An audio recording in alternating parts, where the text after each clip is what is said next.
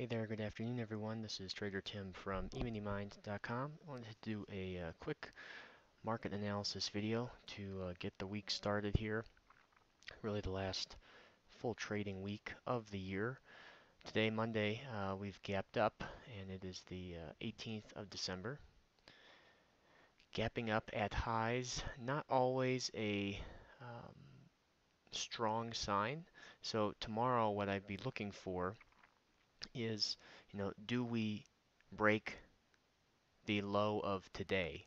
And if we do, do we immediately come back and fill the gap? A lot of the times, if you notice, you know, these moves into new highs uh, that were started by a gap, like for example back here on the 20th of October, you see the gap up, and the next day we get selling uh, that kind of comes down and fills the gap. So if this gap uh, is going to be sustainable, you'll notice not only do we have the initial trend line, now we have an even steeper secondary trend line.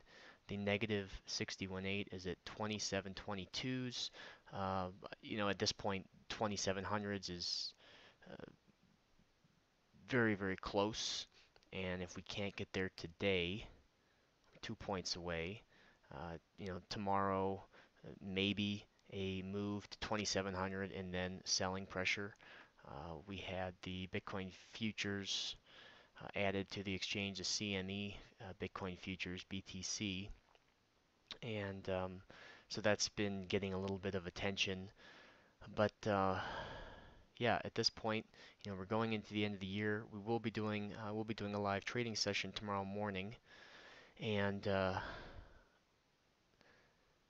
being that we are up at the negative 23% target, I will, you know, have my radar up for potential, you know, bigger body selling uh, because that's been the trend as we've come up and made these new highs in the gap formation. You know, notice back here, we gapped up and then we ha did have the selling pressure. So it really hasn't been enough selling pressure to break a major swing low and have sustained downside, but it's been enough to uh, give us some really good trading opportunities within the day. So anytime I see a gap up at highs, I'm always a little cautious going into the next day that any new highs will be uh, continuations. So that's what I'll be looking for tomorrow. The other thing I wanted to uh, bring to your attention is we're at the end of the year. Uh, I put a couple of uh, really good goal setting ideas and exercises on the blog.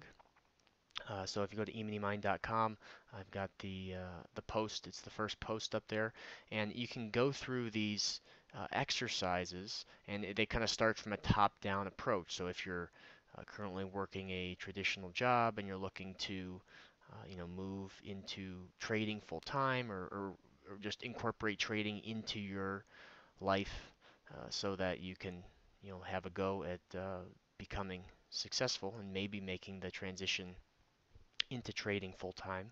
Uh, these are some really good exercises that you can do and things that I do at the end of each year as a way to reflect on my trades as well as kind of plan for the next year. So uh, you can go to eminimind.com and get that. Uh, it's all free and uh, some really good exercises and tools that you can use to help you uh, as we head close out 2017 and move into 2018 so I hope everyone has a, really good week uh, I know that a lot of people are starting to check out for the holiday season and go on vacation kids are out of school and things like that.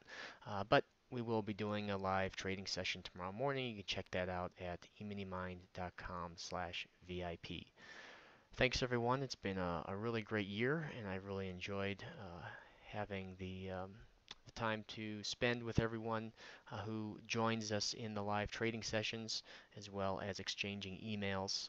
And I will be, uh, I, as most of you know, I've launched a apprenticeship program for 2018, and there's a couple different options you can choose from. Uh, one month, a three month, and a couple other things that I'm incorporating into that. So along with uh, weekly video calls and trade reviews and structured training, uh, there's a lot of good stuff to help improve uh, your trading and help you become uh, more successful. as a trader. So if you're interested in that, you can shoot me an email, tim at eminimind.com, and I can send you all the details.